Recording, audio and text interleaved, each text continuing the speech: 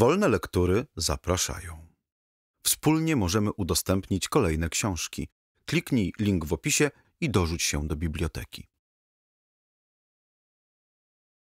Eliza Orzeszkowa Gloria Victis Rok 1863 Leciał wiatr światem ciekawy, niespokojny. Słuchał gwarzeń, opowiadań, wód, zbóż, kwiatów polnych, drzew przydrożnych i szumiał. Szumiał o wszystkim, co widział, co słyszał na szerokim świecie wielkim, na przedziwnym świecie. I leciał, aż przyleciał do krainy w wody, trawy i drzewa bogatej, która nazywa się Polesie Litewskie. Hej, przestworza wolne, przestworza rozłożyste wiatrowi prędkiemu na równinach, co skraje niebios dookoła podpierają bez przeszkód, bez zasłon. Nie uderzy się tu wiatr prędki o żadną górę, ani o żaden pagórek. Nie powstrzyma lotu jego żadne wysokie miasto i chyba tylko las przed nim stanie z obliczem ciemnym i nad łąkami bezkresnymi, nad rozlanymi po nich wodami zaszepcze słowo tajemnica. Ale dla wiatru las tajemnic nie ma. Są to dwaj przyjaciele. Przenika wiatr leśne gęstwiny od skraju do skraju i one mu wszystko, co widziały, słyszały, opowiadają. Przenikają się wzajemnie. I w noce gwiaździste, w dnie od śniegu białe, w wieczory jesienne od chmur posępne, od deszczu szemrzące – wiodą ze sobą długie przyjaciół rozmowy. Leciał tedy wiatr nad Polesiem, gdy letnie słońce miało się ku zachodowi i w blasku jego smułki na łąkach stały zarumienione jak zorze, a wody oblekały się w barwy tęczowe. Na wodach w szyby wieloramienne, w strugi leniwe rozlanych jaśniały fiolet, purpura i złoto a nad nimi w powietrzu rozpościerała się cisza, błękitna, głęboka. Wiatr ciszy nie mącił, albowiem nie był z wiatrów takich, co grzmią i huczą, wstrząsają i obalają, ale z takich, co kochają świat. Latał po świecie, ażeby zbierać jego prawdy i baśnie, minione dzieje, wyronione jęki, echa staczanych walk, ażeby zbierać pyłki jego nadziei, żużle jego żalów, tony jego pieśni i nieść je w przestrzeń, w dal, w czas, w pamięci, w serca. Przeleciał wiatr prędki nad łąkami rozległymi, łagodną pieszczotą muskając w locie rumiane smułki i czerwone szczawie, łagodną swawolą w drobne fale marszcząc tęczowe wód powierzchnie, aż rozwinęła się przed nim wstęga wody, wcale niż tamte innej, cicho stojącej w korycie rękoma ludzkimi wyżłobionym. Wiedział wiatr, co to za woda i jak się nazywa. Przed połową stulecia tu był i wiedział, że to jest kanał królewski. Hej, hej, ten pasek wody, blado-błękitnej, sennej, jakaż mu to przeszkoda. Zanim motyl zdołał wzbić się z przybrzeżnej trawy na szczyt situ, u którego zwinął do snu pozłacane skrzydła, wiatr przeleciał nad królewskim kanałem i oko w oko spotkał się z roztoczonym, jak wzrokiem sięgnąć, wysokopiennym, cienistym, przeźroczystym lasem odkąd tu był. Pół stulecia upłynęło. Jednak poznał przyjaciela. Jak się masz? zadmuchał wesoło. Las w odpowiedzi zaszumiał. Witaj, miły latawcze. I wleciał wiatr do lasu, uradowany, zwinny, przelatywał wśród świerków, brzus, olch, dębów, ramionami owijając pnie starych przyjaciół i skrzydłami na ich konarach składając pocałunki przywitalne. Jak się macie? szemrał i szeptał. Coście przez ten czas widziały, słyszały? Co się tu u was dookoła was działo, stawało? A stare świerki, dęby, brzozy rozłożyste, ramionami powiewając, odpowiadały. Działy się tu i stawały rzeczy dziwne, rzeczy głośne, dzwoniące, płaczące, rozlegające się krzykami, jękami. Co, co, co, co się działo? Jakie, jakie rzeczy z szybkością niezmierną szumiał, pytał wiatr, gdyż po to tylko istniał, aby dzieje ziemskie zbierać i po ziemi je roznosić, albo nawet niekiedy i pod samo niebo wznosić i niebu pokazywać. Po lesie błąkały się światła zachodzącego słońca, w szerokie złote pasy ubierając pnie drzew starych, na mchach i paprociach migocząc mnóstwem iskier, w rozkwitłych różach dzikich zapalając rubinowe serca. Róż dzikich, traw, paproci pełna była polana, bardzo rozległa, wyniosłymi drzewami zewsząd otoczona, na którą wiatr wleciał i wnet po niej uwijać się począł z szybkością nadzwyczajną, wznosząc się i opadając, badając, szukając, na różne tony szumiąc. Co się tu działo? Co się tu na tej polanie działo? Coś osobliwego, coś nadcodziennego dziać się tu musiało. Czuję krew. O, długo, przedługo ziemia wydaje z siebie woń krwi swych dzieci, ludzi. Słyszę jęki. O, długo, przedługo powietrze trzyma pod obliczem nieba jęki dzieci jego, ludzi. Tu był bój jakiś i tu były zgony, tu były rany, ten, koni, krzyki. Mówcie, drzewa kochane, opowiadajcie, mówcie. Drzewa milczały. Tylko po ich gałęziach przebiegł dreszcz lekki, krótki. Jakby z zimna nagłego powstały – co dziwne było w ten ciepły dzień letni. A właśnie w tej chwili wiatr z gwałtownością u niego niezwykłą, z szumem namiętnym zapytywać począł. A toż co? A to co jest takiego? Tego natura nie uczyniła. To uczyniły ręce ludzkie. Tu nigdzie natura pagórków nie usypywała. Ten usypany jest przez ludzi. Kto? Po co? Dlaczego? A tenże krzyżyk na pagórku wśród liliowych dzwonków. Boże, jaki mały, prosty, biedny. Co to znaczy? Mówcie, drzewa, mówcie, błagam. Wtedy dąb wyniosły i silny, któremu kępa zwisających w dół gałęzi czyniła brodę długą. Brzoza wysmukła i cała w długich, ku ziemi opadających warkoczach. Świerk wyprostowany w hełmie z iglicą strzelistą na szczycie, odpowiedzieli chórem przyciszonym szumów. To jest mogiła. Taka wielka, taka wielka, taka wielka mogiła, zadziwił się wiatr. Brzoza westchnęła, a krzyżyk tak mały. A dąb zagadał – Śpi w niej wiele serc mężnych, spalonych na ołtarzu. Wiele serc, a krzyżyk jeden, zadziwił się znowu wiatr. A brzoza westchnęła i taki mały, biedny. Wyprostowany świerk potrząsnął hełmem zdobnym w strzelistą iglicę i przemówił. Jam najwyższy w tym lesie, najdalej widzę. Wiem, są na ziemi bohaterzy wieńczeni i niewieńczeni, mający pomniki i ich nie mający. Nabożnie wiatr wyszeptał pytanie. Jest, że to mogiła bohaterów. Bezimiennych, odpowiedział świerk. A dzwonki liliowe gęsto dookoła krzyżyka rosnące cicho zadzwoniły. Pomarłych młodo młodo.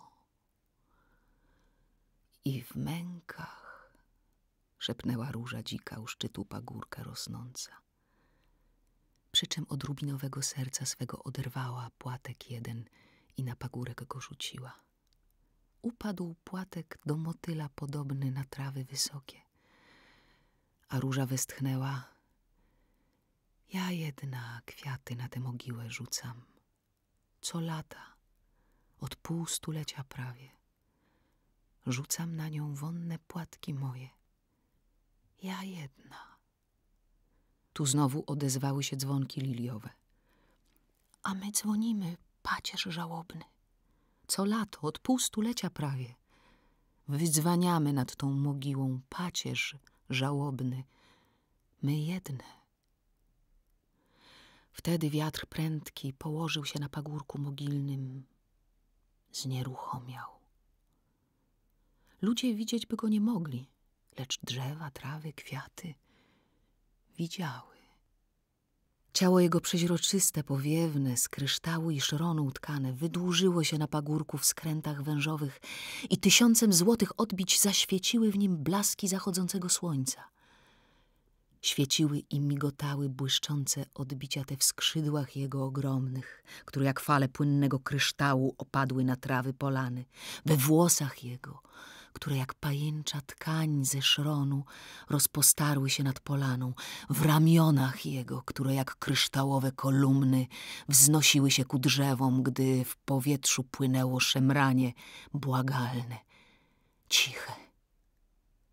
Mówcie, o starzy wiatru prędkiego przyjaciele, wy, co przez wieki mieszkacie w świątyni dumania, i czołami niebotycznymi podpieracie stropy samotni nieskończonych, zamyśleni świadkowie dziejów ziemi, tysiąc ustni, a milczący, stróże mogił leśnych, bezimiennych, zapomnianych, nieuczczonych.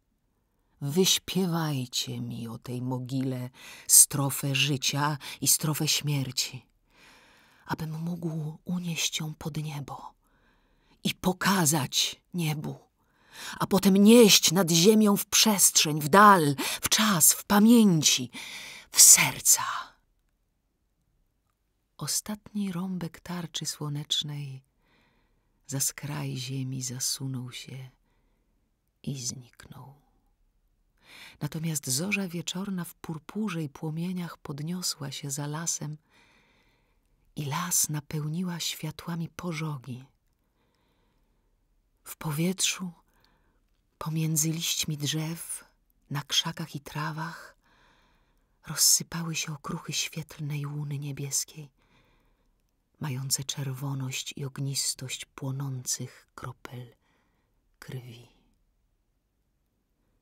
Stary, potężny dąb, pałającymi kroplami krwi na gałęzistej brodzie świecąc, rozwarł szerokie ramiona, powiał nimi w powietrzu i tak szumieć zaczął. Przyszli tu w kilkuset ludzi i rozłożyli się obozem gwarnym, tłumnym, pstrym od odzieży rozmaitej, pobłyskującym orężem rozmaitym.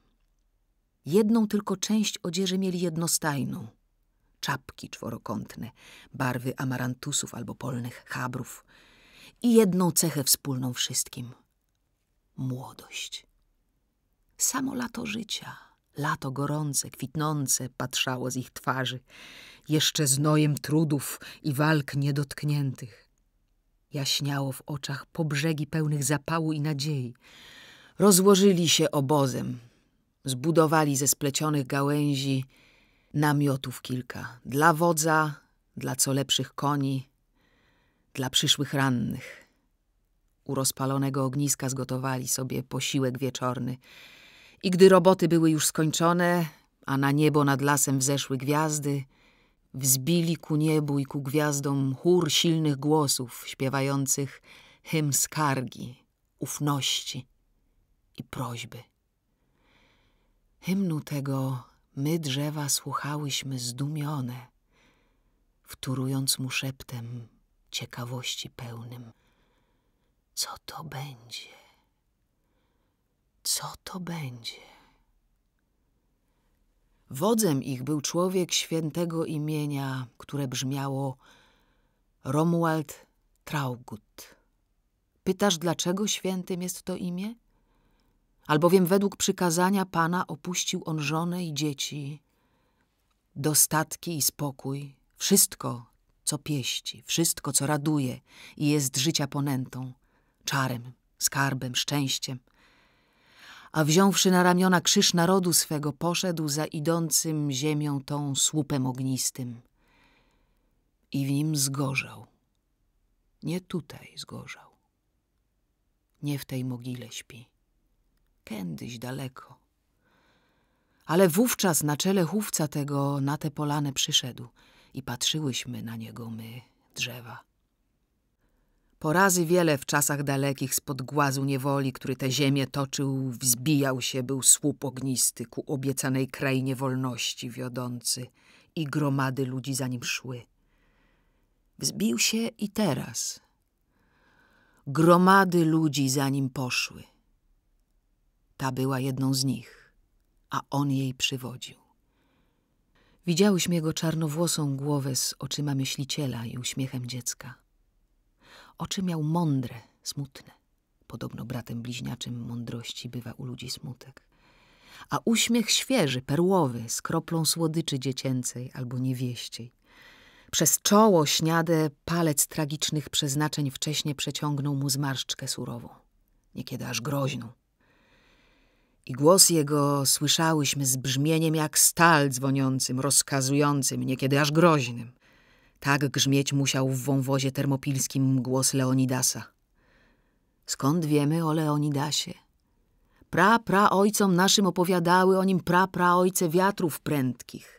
I nikt nie zgadnie kędy, jak, kiedy o rzeczach wielkich i o rzeczach wiecznych rozpowiadają wiatry drzewom, drzewa chmurom, chmury gwiazdom, gwiazdy duchom, a baśnie i pieśni Wieści i powieści płyną jak świat szeroko i jak wieczność długo.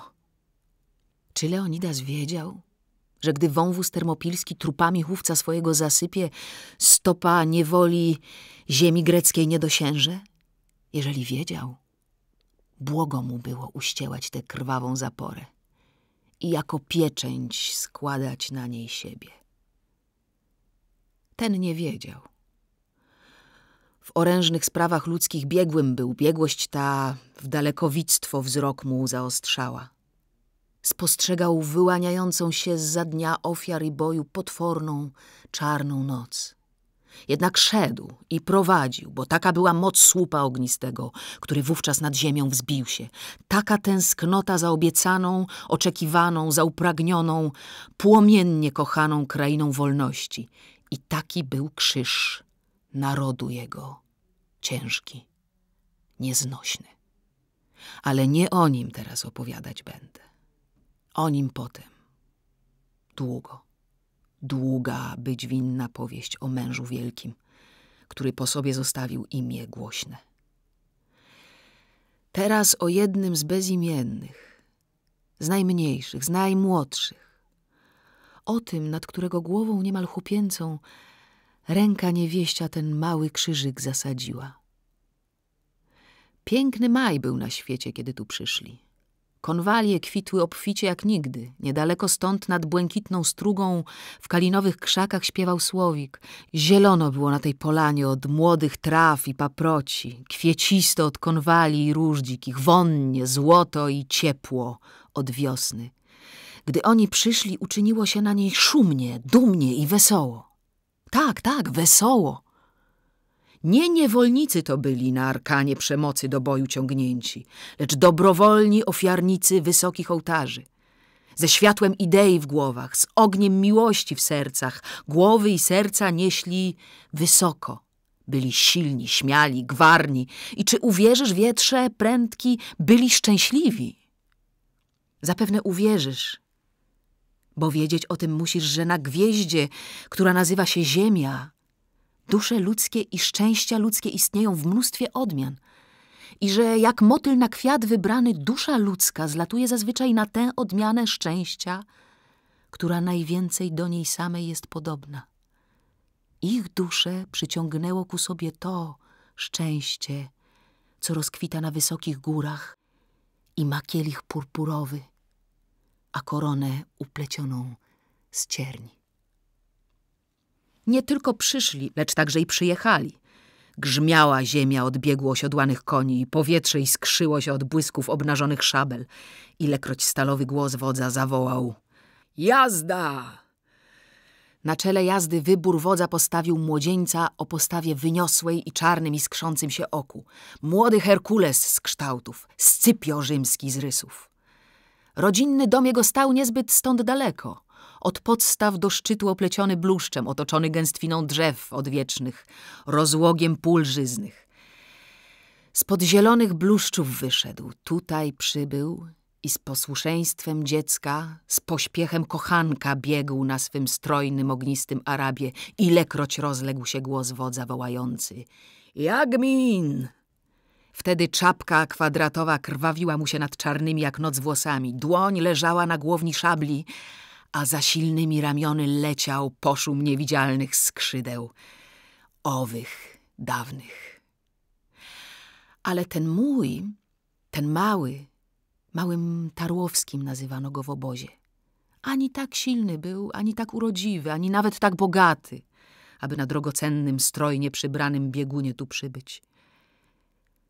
Dlatego właśnie ulubieńcem moim stał się, że był wątły, drobny, na twarzy różowy i biały, a oczy miał jak u dziewczyny łagodne, nieśmiałe, czyste, i tak błękitna jak te niezapominajki, które tu czasem u stóp moich rosną.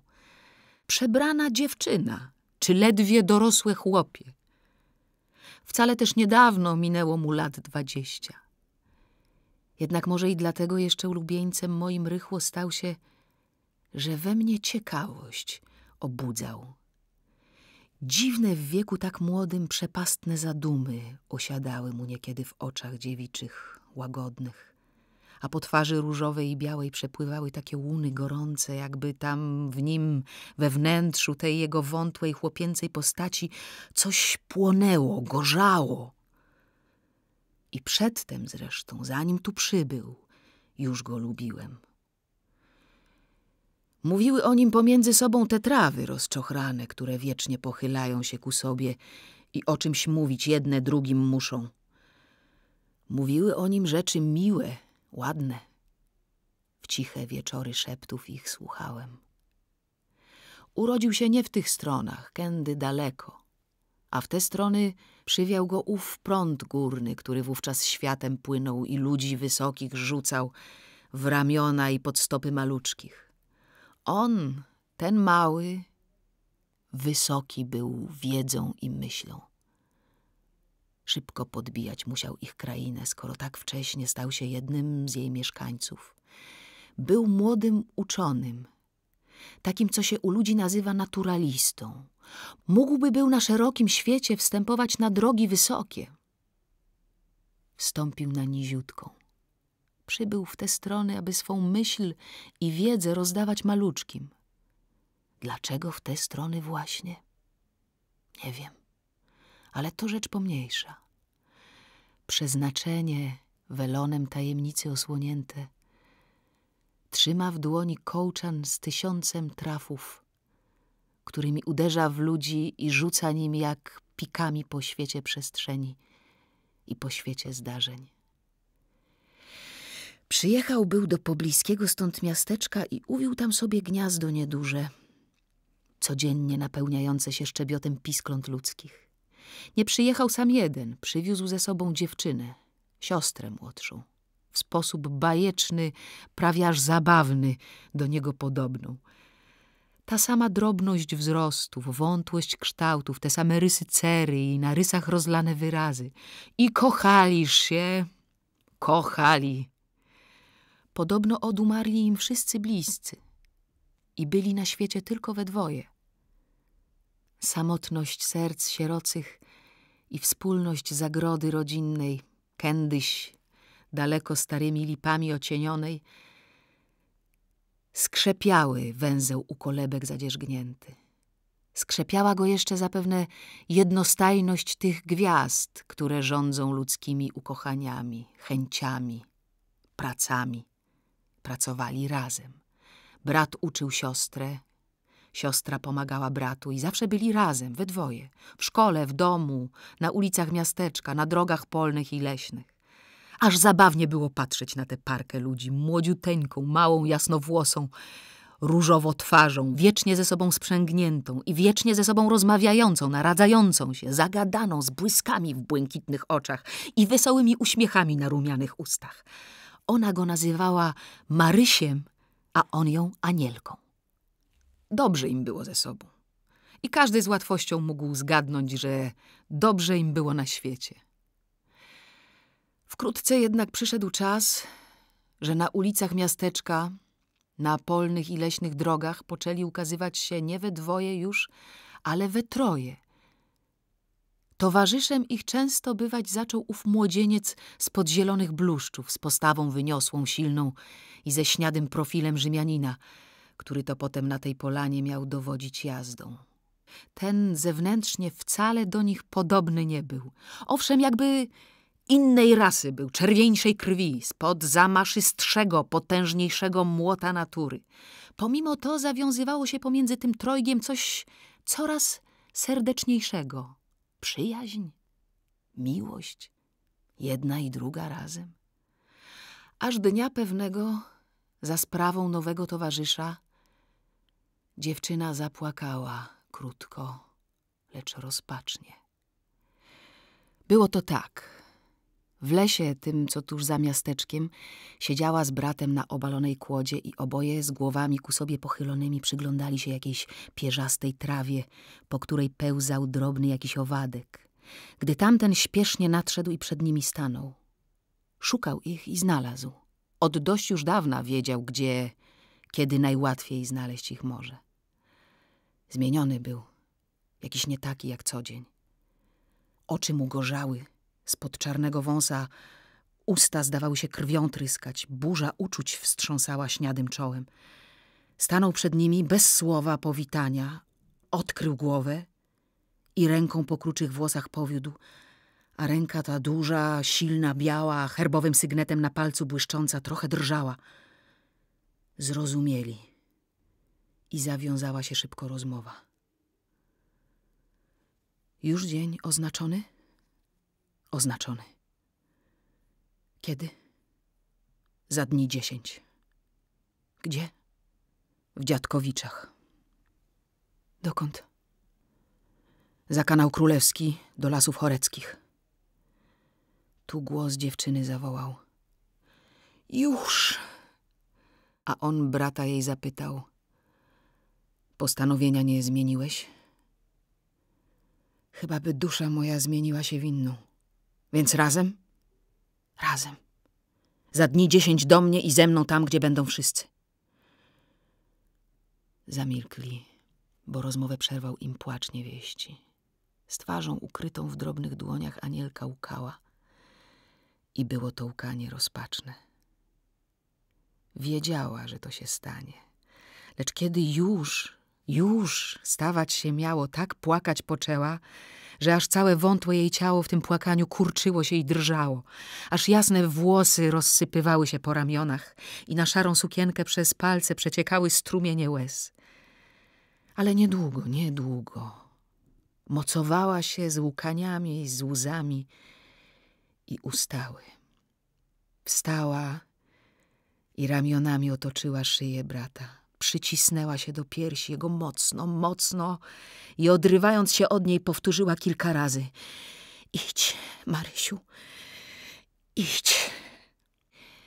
Twarz jej od łez mokra stanęła w uśmiechu takim, co to bólem usta kurczy i rumieńce z niej zniknęły. Ale postać drobną z całej siły wyprostowała i w oczach brata topiąc swe biedne, mężnie ze łzami walczące oczy powtarzała Idź, Marysiu, idź. Trzeba. W wieczór dnia tego w małym ogródku, gdzie rosło kilka jabłoni i trochę bzów kwitło, dwa głosy z cicha z sobą rozmawiały. Głos dziewczęcy prosił – on silny duchem, ale ciałem słaby, w ćwiczenia męskie niewprawny. Od dzieciństwa książka, nauka, górne myśli i zamiary. Odważny, lecz siła skąd? Kocha, jak kocha, ja jedna tylko wiem. Ale czy zdoła? Nie tu urodzony. Nikogo tam swego mieć nie będzie. Pan nigdy niczego się nie lękał. To poznać łatwo. Więc... Więc pan nie wie, co to trwoga taka. Jak szyba lodu na sercu, jak nóż w sercu. O panie, bądźcie wy tam często razem. On przyrzekał. Tam, gdzie nikogo swego mieć nie będzie, ja będę mu swoim. Przyjacielem mu będę, bratem, w potrzebie obrońcą. I jak razem odchodzimy, tak razem tam będziemy, pierś z piersią, dusza z duszą. I razem powrócimy. Albo z szerokiej piersi namiętne westchnienie wzbiło się pomiędzy wonie bzów. I bzy tylko wiedziały, jak nad dwojgiem rąk dziewczęcych, drobnych, drżących, nisko pochyliła się męska twarz z rzymskim profilem i jak usta męskie, purpurowe, gorące, lgnęły się do nich pocałunkami długimi. Pierwsze to były pocałunki na rękach tych przez te usta składane. Czy i ostatnie także?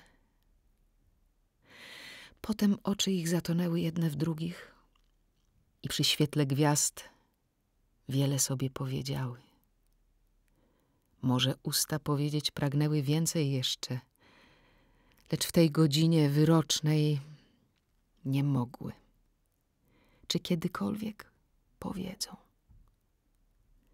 Przeznaczenie stoi za ludźmi welonem tajemnicy zasłonięte i w dłoni trzyma kołczan z tysiącem zdarzeń. Lecz daj mi spocząć chwilę, wietrze prędki. Są ludzie i losy, o których bez spoczynku długo mówić nie mogą, takie nawet jak ja, dęby silne. Dreszcze po konarach mi biegną i na liście występują krople chłodne. Chłodna rosa na las padała i bujne jej krople gęsto usiały gałęzią brodę silnego dębu.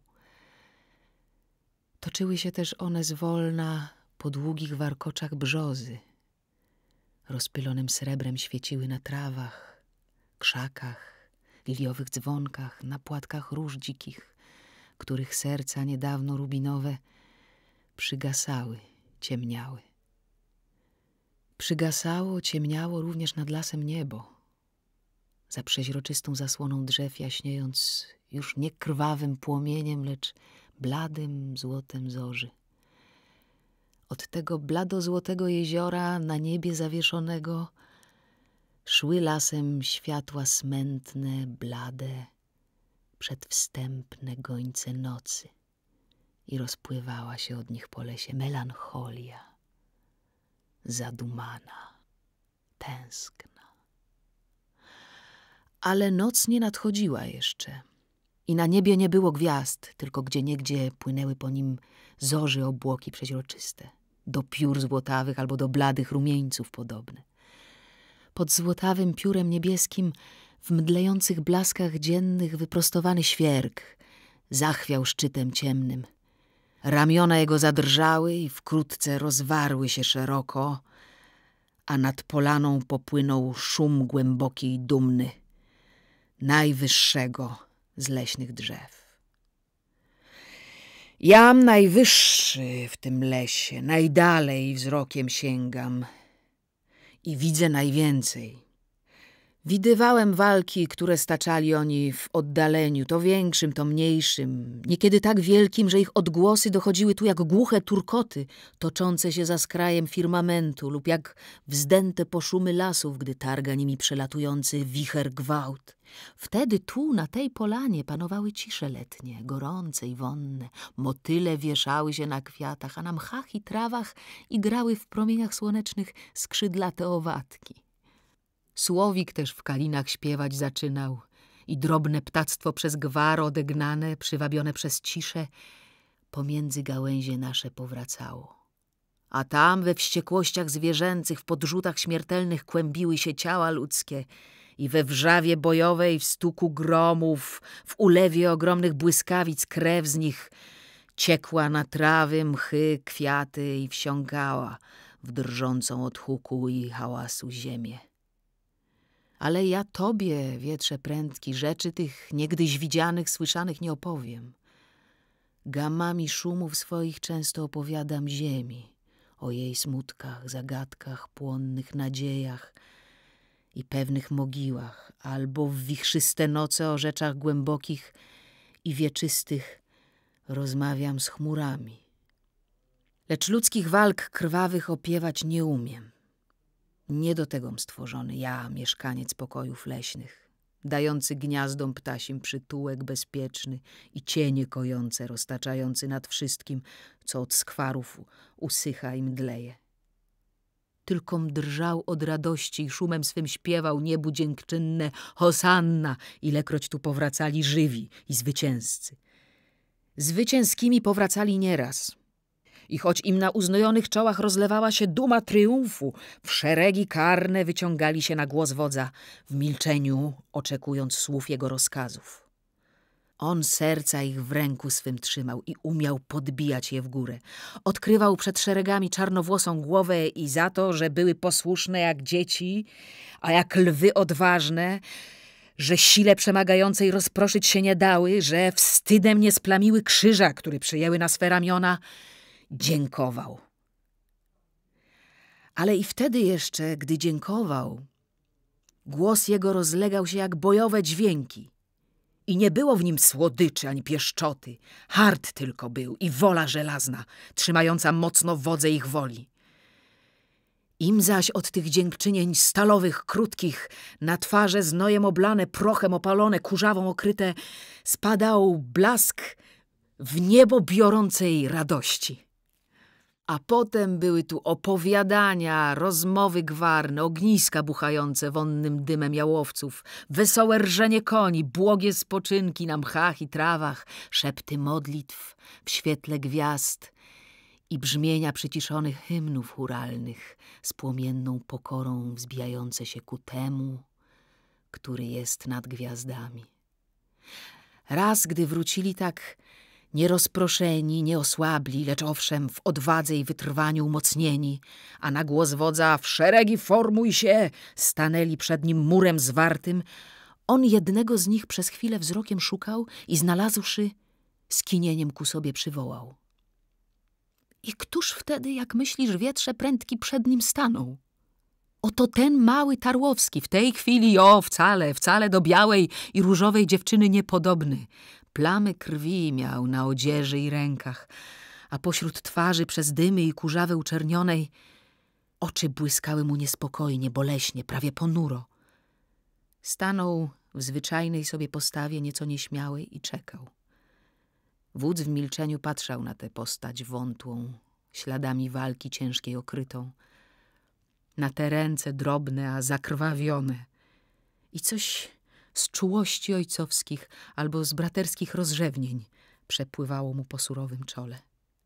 Potem, wskazując go wyciągniętym w milczeniu szeregom, rzekł Życie mi dziś uratował. Cudem odwagi je uratował. Cud, że nie zginął sam. Dziw, że w tym dziecku mieszka taki lew. Nie za to wdzięcznym murze żyje lecz za to, że was jeszcze jako klamra sprzęgam i że jeszcze razem z wami służę nie żadnemu panu ziemskiemu, ale umęczonej, że jeszcze służę. Uczcijcie w nim dzielnego rycerza umęczonej. Ja mu dziękuję.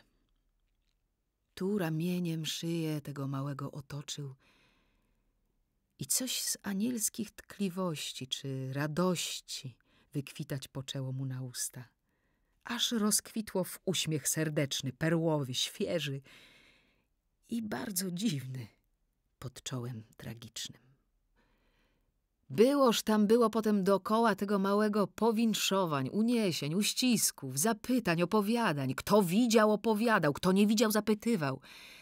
Zdaje się, że tam za olchami na ręce go porwali i wysoko na rękach podnieśli, że dowódca jazdy w herkulesowym uścisku go trzymając długo mu coś o siostrze pannie Anieli szeptał.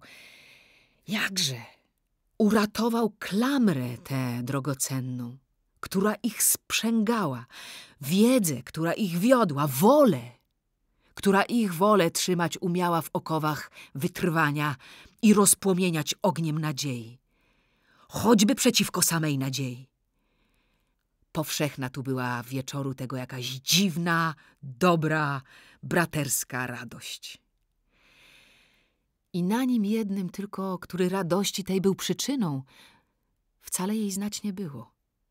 Wyglądał tak, jakby podzielać ją chciał, ale nie mógł. Na pytania ledwie słowem krótkim odpowiadał lub nie odpowiadał nic.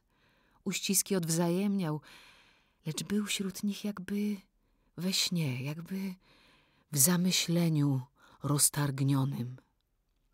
Omył z siebie w strudze błękitnej kurzawę, krew, dym prochowy i miał twarz znowu bladą, różową, nawet nie ogorzałą, bo jak u niektórych niewiast bywa, nie imały się jej bladości z pieki słoneczne. Lecz myślał o czymś ciągle, niespokojnie, prawie posępnie jakby dusza jego kołysała się nad przepaścią pełną wątpień, zapytań, zagadek. Tak, gdy gwiazdy wzeszły, położył się pod tą brzozą i gdy wszyscy już spali, nie spał. Żadne z nas drzew tego niepokoju i smutku jego zrazu nie zrozumiało. Jam pierwszy zrozumiał. Nie do tego był stworzony. Jak ja, który z niebem często o rzeczach wielkich i wiecznych rozmawiam, niestworzonym do opiewania krwawych bojów ludzkich, tak on, w geniuszu natury i górnych myślach ludzkich rozkochany, do bojów tych stworzony nie był. Do czego innego był stworzony. Znałam go z bliska. Znałam dobrze jego myśli i miłości. Zaszeptała brzoza, której gęste listowie, wspływające ku ziemi warkocze zaplecione, srebrzyło się jeszcze gdzieniegdzie od wieczornej rosy, a suknia z białej rosy przeświecała z za długich warkoczy. Znałam go z bliska, znałam dobrze jego myśli i miłości, bo dookoła mnie z ziemi od pobliskiego strumienia wilgotnej wyrasta tłum ogromnych roślinek przerozmaitych, przyziemnych, drobnych, wśród których krząta się pełza, biega, podlatuje drugi tłum równie malutkich, przyziemnych, przerozmaitych owadów, robaczków, a on, ten mały, z drobiazgiem tym przebywać lubił dziwnie i wówczas tylko na różowej twarzy jego jaśniało szczęście spokojne, błogie, gdy z nim przebywał. On doprawdy drobiazg ten kochał i kształtów jego, życia jego ciekaw był namiętnie. Słusznie powiedział Świerk Wysoki, że był on rozkochany w geniuszu natury. Ale ja tylko wiem, bom temu przyglądała się nieraz, jakie on z tym geniuszem rozmowy długie, ciekawe prowadził. I miłosne również. Bo tak już jest pomiędzy ludźmi, że ciekawe i długie rozmowy prowadzić oni zwykli tylko z przedmiotami swojego kochania. Przedmiotem kochania jego była natura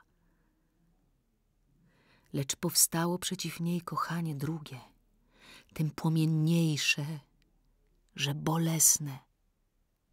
I tu go przywiodło. O tamtej kochance zupełnie zapomnieć nie zdołał i przed obliczem śmierci, która co dzień spotkać go mogła, stojąc, wzrokiem i duszą wpatrywał się jeszcze w jej oblicze przerwach służby obozowej, w godzinach odpoczynku to bywało.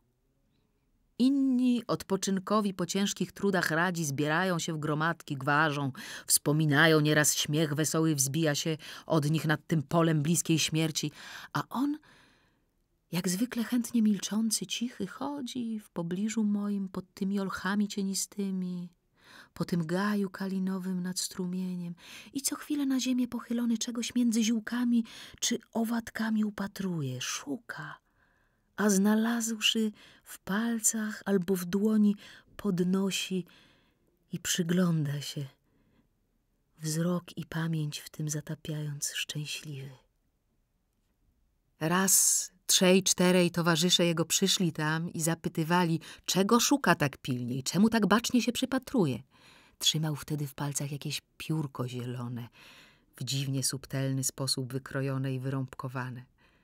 Więc swoim cichym, łagodnym głosem mówić im zaczął o tym, jaka to jest roślina rzadka, jak on pragnął znaleźć ją kiedykolwiek niezasuszoną w zielniku, lecz żywą, jaki kraj oddalony zamorski jest jej krajem rodzinnym, jak przez lądy i oceany wiatr nasiona jej tu przyniósł, jaki to cud natury. Te wędrówki na skrzydłach wiatru, od bieguna do bieguna ziemi, nasionek tak drobnych jak pyłki. Innego dnia to samo powtórzyło się z powodu owadka złotawego, który trwożnie uwijał mu się na dłoni, a innego jeszcze z powodu wspaniałej korony nenufaru, która u brzegu strumienia rozkwitła, a którą on zerwał i w ręku trzymał, twarz pochyloną w upajającej woni jej zatapiając. Towarzysze w ścisłą gromadkę wokół niego skupieni patrzyli, Słuchali wszyscy go wzrostem, szerokością ramion, męskimi zabarwieniami twarzy przewyższając. Czapki ich czworokątne wyglądały na tle zielonym jak ogromne habry, amarantusy. Na odzieży mieli twarde, szerokie pasy i u pasów żelazem pobłyskującą broń. I dziwnie było patrzeć, jak te twarze ogorzałe piętnem zmęczeń i niepokojów trawiących naznaczone pochylały się ciekawie nad drobnym piórkiem roślinki albo złotawym ciałkiem owada. I jak na te skazane głowy ukojenie i odpoczynek spływały z cichych słów małego towarzysza, z zielonych tkanek rośliny, ze złotawych skrzydełek owada, ze śnieżnych płatków wonnej lilii wodnej. Oto, do czego był stworzony. I jeszcze do tych myśli, które przyjacielowi opowiadał wtedy, gdy wszyscy spali, a on nie śpiąc u stóp moich na gęstych trawach leżał. Tamten nie spał także. Sen z oczu spędzała mu myśl o tej zagadce ogromnej, którą ziemia ta i najlepsi jej synowie uplątali się jak w krwawą pajęczynę. I może jeszcze o pozostałej daleko tęskniącej pewno płaczącej może anielce. Przyszedł do brata anielki i długo obaj leżeli u stóp moich, twarzami ku sobie obróceni. W milczeniu nocy rozmawiając tak cicho, jak cicho płaczą moje warkocze, gdy z lekkim szemraniem spływają z nich na trawę majowe deszcze nocne. Cicho było. Na jednym z krańców obozu koń czasem zarżał, na innym z piersi uśpionego człowieka wyrwał się okrzyk głuchy, albo wionęło ciężkie westchnienie. Ktoś w ostatniej bitwie raniony jęczał pod dębem w uplecionym z gałęzi namiocie. Z drzew otaczających polanę na przestrzeniach mdło oświetlonych przez gwiazdy widać było czarne posągi uzbrojonych i nieruchomo stojących straży. Oni dwaj na siebie wzajem albo na gwiazdy patrząc, rozmawiali o tych czasach dalekich, w przyszłości dalekich, które będą albo nie będą, które jeżeli będą wodami ukojenia i oczyszczenia obmyją świat, w których podobno miecze mają być przekute na pługi, a jagnięta sen spokojny znajdować u boku lwów. O przyszłości świata po wiekach walk zbrodni i mąk, rozkwitłej w raj niewinności, pogody i zgody. Mówili z tęsknotą, zachwyceniem, upragnieniem. Szeptem cichym marzyli o tym celu, przedalekim, ku któremu rzeką wrzącą wieczną płyną marzenia ludzkich głów i serc najwyższych. a nie wiedzących nigdy, czy kiedykolwiek rzeka do celu swojego dopłynie. Ach, ból i rozpacz tych marzeń bez ziszczenia, upragnień bez nasycenia, zagadek bez rozwiązania. Ach, niezgłębiony tego wszystkiego smutek. Bo chociaż przedmiot walki najdroższy jest i święty, przelana w niej krew ludzka trucizną w żyły spływa i rany zadane ranami kładą się na tych, co je zadają. Gniew, ból, śmierć to sępy pasące się na trupach radości, słodyczy i nadziei ludzkich. Zły ród, przeciw sobie samemu szpony ich wystawiający. Nędzny ród krótko żyjący, którego synowie nawzajem sobie skracają życie. Nieszczęsny ród, zewsząd w ciele swym i w duchu swym zagrożony, którego synowie nawzajem ciałom i duchom swoim grożą. O, kiedyż będzie inaczej? Czy kiedykolwiek będzie inaczej? Dlaczegoż nie urodziłem się w tej porze późnej, gdy świat będzie inny? Albo w tak wczesnej, aby oczy moje nie potrafiły otworzyć się na to, że mógłby być inny, gdyby, gdyby ludzie byli inni. Po krótkim milczeniu ze smutnym uśmiechem mówić począł wiersz starożytnego poety. Baśń niesie, że Prometeusz do pierwiastku gliny będącej podstawą istoty człowieczej wlał po kropli każdego z pierwiastków zwierzęcych. Samo serce człowiecze zaprawiając chciwością wilczą i wściekłością lwią. To jest przyczyna tych pomst i gniewów, które w ludzi uderzają zgonami strasznymi. I to jest przyczyna, że walą się w gruzy gmachy wspaniałe, że lemiesze wojsk wrogich rozorywują wały podbitych grodów. Horacjusz? zapytał towarzysz mówiącego i w tejże chwili z porywczym gestem silnego ramienia z nad trawy się podniósł. Podbitych grodów! powtórzył. Chwilę milczał, aż zawołał. Teraz inaczej być nie może. Podbitych grodów. Teraz walka to powinność. Głos cichy, ale stanowczo brzmiący namiętnemu wykrzyknikowi temu odpowiedział. Teraz inaczej być nie może. Dopóki gwałt dopóki święty przeciwko gwałtowi gniew. Dopóki krzywda, dopóki walka. Dopóki krzywda, dopóty walka. Przez krew i śmierć, przez ruiny i mogiły, z nadzieją czy przeciw nadziei walka z piekłem ziemi w imię nieba, które na ziemię zstąpi. Może zstąpi. Kiedyś gdy nas już na ziemi nie będzie. Tak oni czasem w zmrokach nocnych rozmawiali z sobą, gdy obóz spał i dookoła obozu na przestrzeniach mdło przez gwiazdy oświetlonych widać było czarne posągi uzbrojonych straży. Aż przyszedł dzień. Aż przyszedł dzień. Szept brzozy zniżał się, tajał, umilkł. Przemówił w zamian brodaty silny dąb. Aż nadszedł straszny dzień. Straż daleka przyniosła oznajmienie, bo okrom bliskiej, wokół obozu rozstawionej, mieli oni straż swoją daleką, która tu przyniosła oznajmienia, ostrzeżenia, wieści – Przyniosła je ona tak, jak królewicz bajeczny dążył do zamku zaczarowanej królewny przez zarośla cierniste, wrzawą upiorów napełnione, przez moczary bagniste najeżone paszczękami smoków. Czasem strażnik ginął w uścisku upiora lub w paszczęce smoka. Czasem docierał celu. Z daleka już słychać było tentent biegnącego przez las konia. Hasło! Z nadzieją czy przeciw nadziei? Wpadł na polanę młody jeździec na koniu zdyszanym, z twarzą oblaną potem. Południe z kwarem piekło. Kilka głosów przyjaźnie zawołało: Kaliś, pan Kalikst, jak się masz?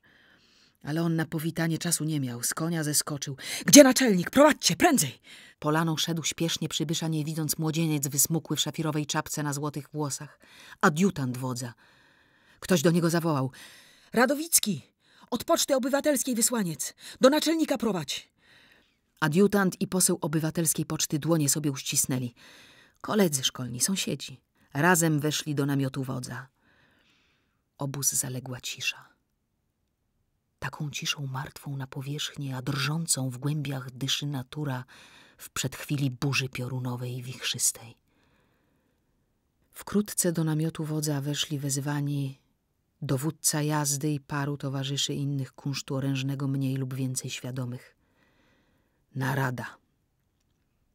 Oczekiwanie trwało długo, aż Romuald Traugut przed namiot swój wyszedł i otrzymane wieści ogłosił. Biły z nich pioruny bliskiego boju i wicher śmierć wiał. Wojsko ogromne nadciąga. Już opasują las. Oddziały jego piesze i konne już jak rzeki szumne lasem płyną. Przez las drzew przedzierają się lasy luf, pik, bagnetów. Za godzinę, za dwie tu będą.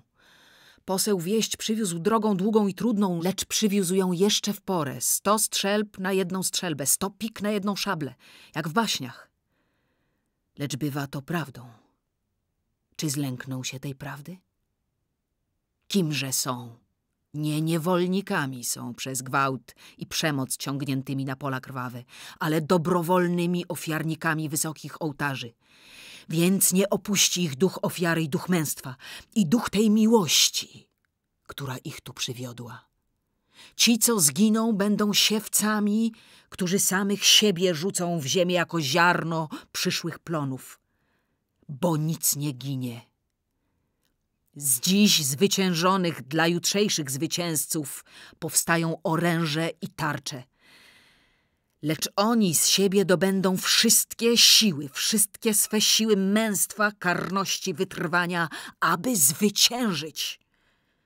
Bojowy okrzyk ich w imię Boga i Ojczyzny, z tym okrzykiem na śmierć czy na zwycięstwo. Do boju! Tak mówił. Słowa jego rozlegały się od brzegu do brzegu obozu, dźwięczne, krótkie, coraz głośniejsze, gorętsze, jak iskry sypały się nad głowy tłumu. Aż jak łan kwiatów na łące zakołysał się tłum ten i wyrzucił z setek piersi wzdętych grzmotowy okrzyk zapału. Potem zakotłowało tu, zawrzało, siodłanie koni, przywdziewanie zbroi, wołanie komend, formowanie się szeregów, głośne rozkazy, ciche zlecenia. Kipiał ruch, dzwoniły głosy, tętniły końskie kopyta, broń błyskała w powietrzu pełnym słonecznego złota i upału. Poseł Poczty Obywatelskiej miał odjeżdżać znowu, drogą długą i nudną powracać tam, skąd przybył. W przódy jednak zatrzymał konia przed jednym ze sformowanych już oddziałów pieszych, i żołnierzowi z pomiędzy wszystkich najmniejszemu wzrostem podał przedmiot tak drobny, że zaledwie dostrzec się dający, mówiąc od siostry. Był to skrawek papieru, niezmiernie drobno zapisany i zwinięty w sposób taki, aby go w potrzebie z łatwością połknąć można było.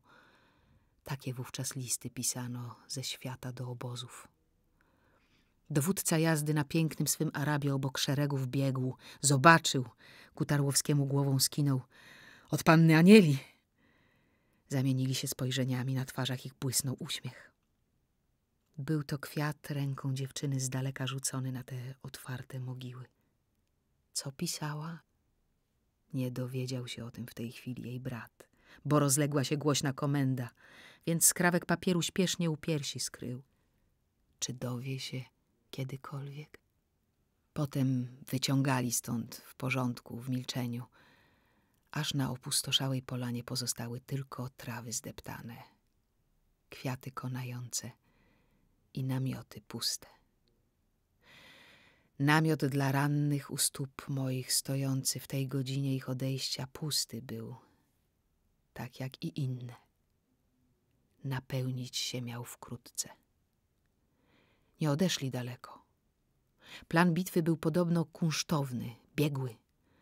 Obrona i zarazem napaść. Zasadzka ukryta w nieprzeniknionej dla oka gęstwinie, a na luźniejszych przestrzeniach za każdym drzewem przyczajone okolufy i na każdym pulku mchowym czy paprociowym, w każdej cienistej alkowie z gałęzi dobyte z pochew szable.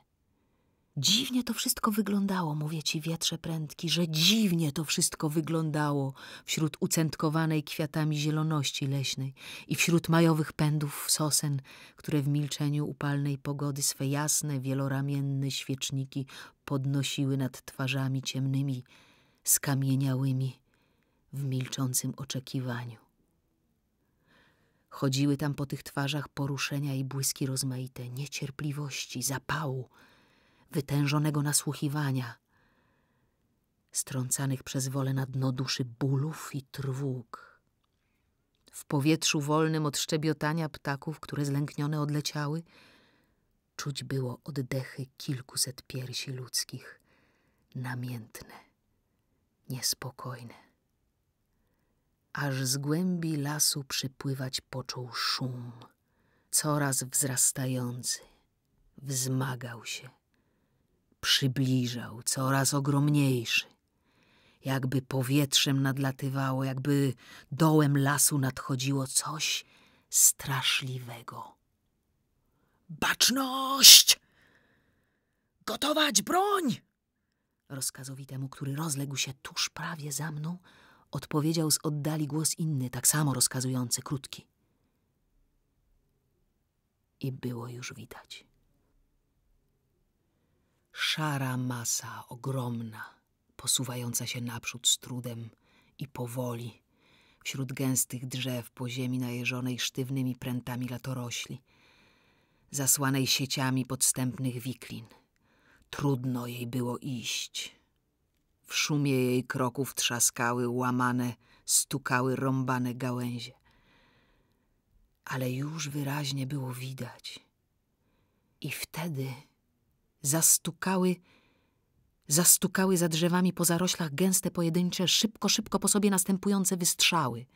I rój błyskawic krótkich, ognistych rozsypał się wśród drzew i zarośli.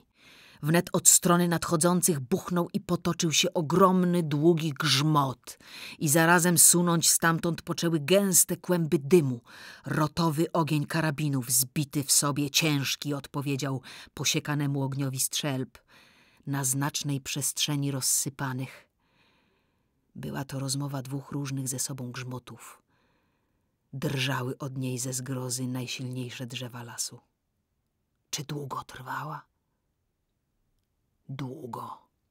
Godziny upływały. W dymach, które stawały się morzem napowietrznym, kłębiącym się i ciemnym, Szara masa wydłużona w kształt kolumn, to roztaczana w kształt półobręczy, przybliżała się znowu i znowu cofała. Niewygodnie jej było, ciasno i wśród zasłon leśnych ogniem ziejących trwożnie. Ale rosła wciąż, rosła, gęstniała na odległościach coraz większych, dalszych. Tysiące, coraz nowe, konne, piesze, jak rzeki wezbrane o wodach nieprzebranych ale też tysiące zapór, przeszkód w tym świecie leśnym napełnionym tworami nieposłusznymi, mającymi we własnym swym królestwie swoją wolę i swoją moc. Tysiące też tych stuków szybkich z drzew, z pomiędzy zarośli, które razem z rojami ognistych błyskawic rzucały roje pocisków celnych.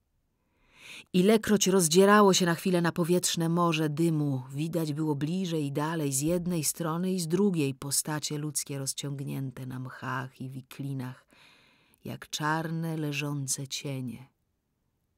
Po obu stronach padały trupy, lecz nie wszyscy upadający byli trupami. Upadł stąd niedaleko i rozciągnął się na paprociach mały Tarłowski. Ale żył. Od początku bitwy za Rosochatą Olchą na jedno kolano klęcząc, nabijał strzelbę, celował i strzelał, bez ustanku, zapamiętale, szybko, z wprawą, którą obdarzyły go ćwiczenia obozowe. Jakby nigdy pragnieniem był nie biegł ku rajskiej erze wiecznego pokoju świata. jakby nigdy razem z poetą nie wyrzekał na wlaną w serce człowiecze krople wściekłości lwiej. Coś lwiego czy tygrysiego błyszczało mu w oczach o rozpalonym błękicie. Pod czołem ściągniętym w jedną zmarszczkę uwagi wytężonej i zaciętości srogiej. W linie srogą jak krwawa uraza zaciskały mu się usta. Albo rozwarte, dyszące, w pierś wątłą chłonęły węże dymu ziejące prochową wonią. Wtem nadleciało coś mającego w szarym dymie podobieństwo do wydłużonego ciała czarnej pszczoły i w ramię go ugodziło. Ramię to zwisło u boku. Strzelba z ręki wypadła. Chciał porwać się z klęczek, zachwiał się i na wysokie paprocie upadł. Ale żył. I po długiej chwili dwie pary silnych ramion zdjęły go z okrwawionych paproci i wniosły do tego namiotu u stóp moich stojącego, który już nie był pusty. Pod dachem wysokim, z zielonych gałęzi uplecionym, na mchowych i paprociowych pościelach leżało już kilkuset ludzi, w których trzewia lub członki żądła swe pogrążyły czarne pszczoły. Nad nimi od jednego do drugiego przechadzając przyklękali dwaj ludzie z twarzami zatroskanymi, z czołami oblanymi potem, z rękoma czynnymi, lekarze obozowi. Ale wówczas dookoła polany tej stawało się już bardzo gorąco, z coraz częstszymi, z coraz dłuższymi, gęstszymi grzmotami karabinowego ognia. Szara masa zbliżała się już na odległość, z której można było rozpoznawać wzrokiem pojedyncze postacie, twarze, ubrania, bronie.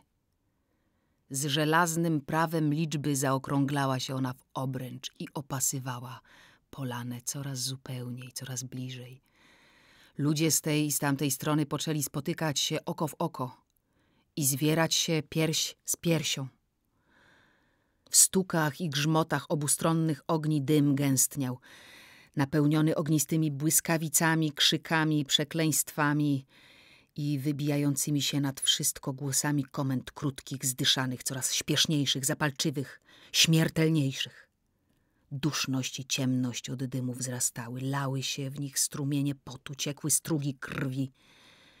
Coraz ciaśniej stawało się tam wrzaskliwiej, krwawiej, wścieklej, przeklęciej. Piekło, piekło, mówię ci, wietrze prędki. Szalało w tym naszym cichym, wonnym, kwiecistym, niewinnym raju leśnym.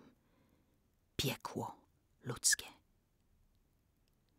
i zdawać się mogło, że nad to, co się już działo, nic na ziemi straszniejszego dziać się nie może. A jednak... Kiedy na ludzi spoglądasz wietrze prędki, nie mów nigdy tu kres ich tragedii, bo nikt wśród wszechświata odgadnąć ani obliczyć nie zdoła tego szczytu najwyższego, na który wzbijać się mogą ich tragedie, ich zbrodnie i ich niedorównany we wszechświecie ból.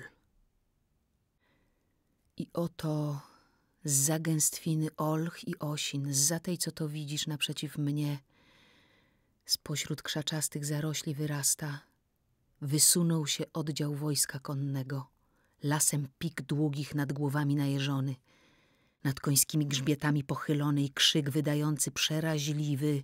Począł przez pustą polanę ku temu namiotowi pędzić.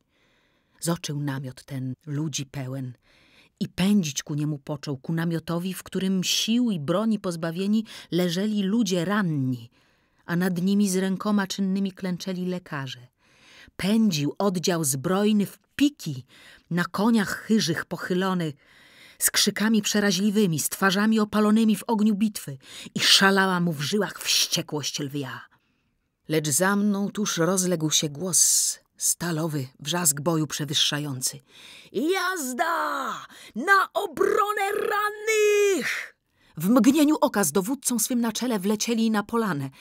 Czarni od dymów piekielnych, na zziajanych koniach wypadli z drzew i z zarośli naprzeciw tamtym z podniesionymi szablami w rękach.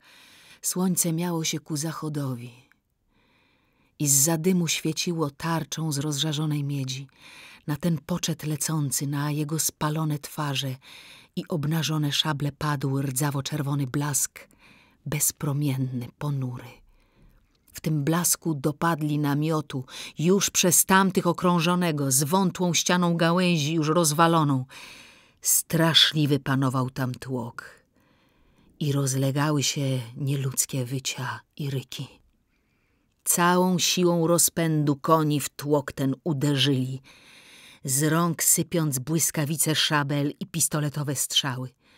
Dowódca, czarnowłosy, do archanioła z mieczem płomiennym podobny, pierwszy szerokiego otworu doskoczył i jakby nogi konia jego ziemia do siebie przykuła stanął. O Jezu! Nie było już w namiocie rannych ani lekarzy. Były tylko trupy w krwi broczące i jeszcze otrzymujące nowe rany, umilkłe albo w straszliwym konaniu harczące.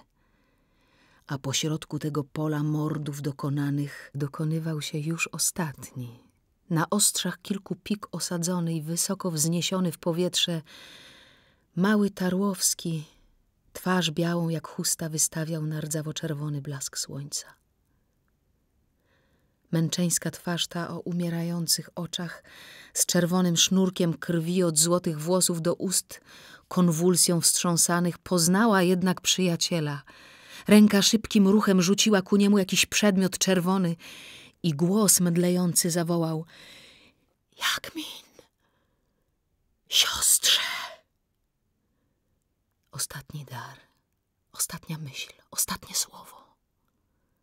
Jak ptak czerwony, chusta krwią ociekająca zleciała na szeroką pierś dowódcy jazdy. Lecz w tejże chwili upadł pod nim koń jego, kulą ugodzony i on sam wśród tłoku dymu, wrzasku, stuku wystrzałów, ulewy ognistych błyskawic zniknął. Przestał szumieć dąb brodaty i cisza nocna zaległa polanę. Bo noc już nadeszła, mroczna, ale nie ciemna, przeźroczysta, gwiaździsta, majowa. Na pagórku mogilnym, na wysokich trawach wiatr leżał tak lekki, że nie uginały się pod nim ku ziemi wysokie trawy. Ogromne skrzydła jego żałośnie zwinęły mu się u boków i smutnie rozsypały się po ziemi włosy ze srebrzystych szoronów pajęczo uprzędzione. W wydłużonych skrętach jego kryształowego ciała blado świeciły odbicia gwiazd. I z odbić tych jedno tylko wzrastało w blask i wielkość aż wzrosło w płomyk gorejący, od którego tajać począł kryształ jego piersi. Tajał od gorejącego płomyka kryształ piersi wiatru prędkiego i ściekał na wysokie trawy z szemraniem tak cichym, z jakim płaczą warkocze brzozy, gdy z nich na ziemię spływają majowe deszcze nocne. Tak na bezimiennej, zapomnianej, nieznanej mogile leśnej płakał wiatr. I cicho z nad traw zaszeleścił. A ten krzyżyk ciche nad samą ziemią odpowiedziało mu dzwonienie. My, małe dzwonki liliowe, my, małe dzwonki, litośnieśmy chłodziły jej rozpalone czoło i piły lejące się z oczu jej łzy. Po latach, po wielu, o smętnej jesieni przyszła tu, ciemna, drobna i u stóp pagórka twarzą padła na zioła, biedną twarzą, bo nie była już biała ani różowa. Białość jej i różowość wypiło z niej życie, biedne życie bo nie wiemy, co tam na świecie czyniła. A w oczach stała odbita samotność, tęskniąca, gorzka. Biedne ręce, niegdyś całowane tak miłośnie, biedne oczy, niegdyś tak podobne do błękitnych, dziewiczych, czystych oczu brata. On nieprzespanie spał na dnie pagórka tego, z ostatnim jej pozdrowieniem, szczypteczką prochu na piersi w proch rozsypanej. I tamten leżała na pagórku do ziół zżółkłych tuląc twarz uwiędłą i na ich kobiercu rozciągając suknię swą ciemną, biedną. Myśmy wtedy nie miały kwiatów, jakże, w jesieni, więc tylko liściem chłodnym objęłyśmy twarz jej od płaczu gorącą i łzy piłyśmy. Co długo płynęły jej z oczu. Długo, nieprędko z ziemi wstała. I ten krzyżyk mały, który przyniosła z sobą, wśród łodyg naszych utkwiła. Potem drobna jej postać odeszła w zmierzch wieczorny, wśród żółtych drzew zniknęła i nie wróciła już więcej nigdy. Teraz zaszumiał potężny, brodaty dąb i płynęły lata za latami. O każdej wiośnie ptaki przylatywały tu gromadnie, wiewiórki po świerkach tańczyły i w trawach biegały, pełzały, podlatywały drobne owatki, robaczki. Róże dzikie odkwitały i zawieszały się u koron ich motyle. Słońce kładło na trawy szerokie płachty złote. Od zórz wieczornych żeglowały niebem rumieńce obłoków. W zmrokach nocnych świeciły wysokie gwiazdy lub ciężkie, ciemne całuny nisko rozwieszały chmury. Płynęły dnie za dniami, noce za nocami. W głębokiej jesieni huczały tu wichry, szumiały ulewy, szemrały deszcze nieskończone, a w śnieżyste, szkliste zimy my, drzewa, wznosiłyśmy nad tym wzgórzem grobowce ze szkła szronów i z marmuru śniegów zimne, białe, koronkami obwieszone, brylantami obsypane. Czasem na te grobowce zlatywały stada wron lub kawek, krakaniem grobowym powietrze napełniając, albo w królewskiej postawie zatrzymał się wśród nich jeleń wspaniały. Przebiegało stado kóz płochliwych, drobny zając przemknął, znacząc na śniegu zygzaki ciemnych śladów. Płynęły wiosny za wiosnami, zimy za zimami. I dwie rzeczy były niezmienne. Zawsze stała tu wysoka od ziemi do nieba samotność z obliczem niemym. I ciągle płynął tędy nieśmiertelny strumień czasu, niestrudzenie szemrząc we victis, victis, ve victis. Wiatr prędki już nie płakał.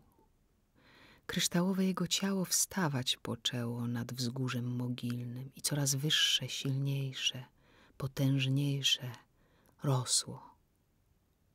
Wstawał i na kształt powiewnej kolumny wzrastał do wierzchołków drzew, wysoko nad ich wierzchołki, jeszcze wyżej, cały w gniewnym szumie podnoszących się z nadziemi skrzydeł, w zawierusze włosów roztaczających się naokół olbrzymią siecią pajęczą, świecącą szklistym szyronem, aż niebotyczny, wzdęty, niezliczonymi odbiciami gwiazd roziskrzony, roztoczył skrzydła latawca olbrzyma, na las cały rzucając okrzyk.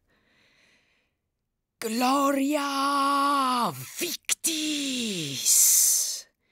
I zerwał się z mogiły, wzleciał nad las szlakiem powietrznym, dotarł ciemnego nieba i do gwiazd mrugających, do srebrzystych dróg mlecznych zawołał.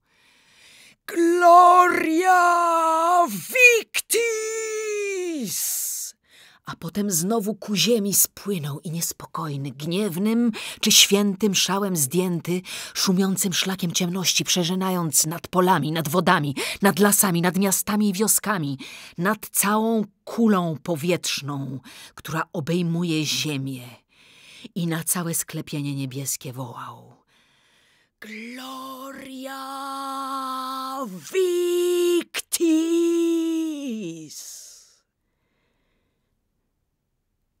Zdumiewały się wołania tego słuchając. Pola, wody, lasy, wsie i miasta. Zdumiewała się kula ziemska i kula powietrzna, w zdumieniu zapytując, kto nad światem głosi tę ogromną, niesłychaną, tę fantastyczną, niespodziewaną nowinę.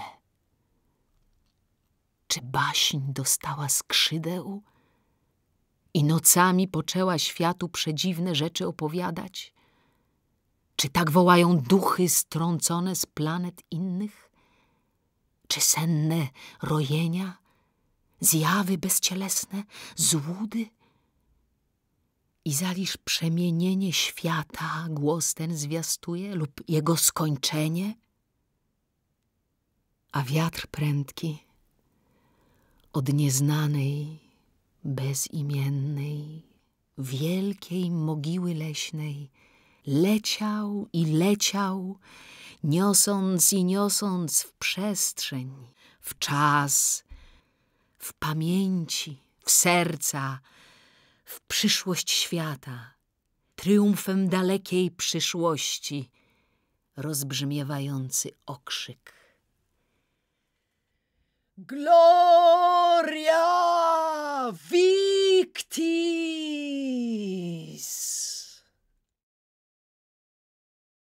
Czytała Danuta Stenka. Audiobook pochodzi z darmowej biblioteki internetowej Wolne Lektury. Wspólnie możemy udostępniać kolejne książki. Kliknij link w opisie i dorzuć się do nowych nagrań. Audiobooki wolnych lektur są udostępniane na wolnych licencjach, co oznacza, że możesz je swobodnie wykorzystywać, zmieniać i publikować pod warunkiem przestrzegania prostych zasad, które znajdziesz na stronie wolnelektury.pl.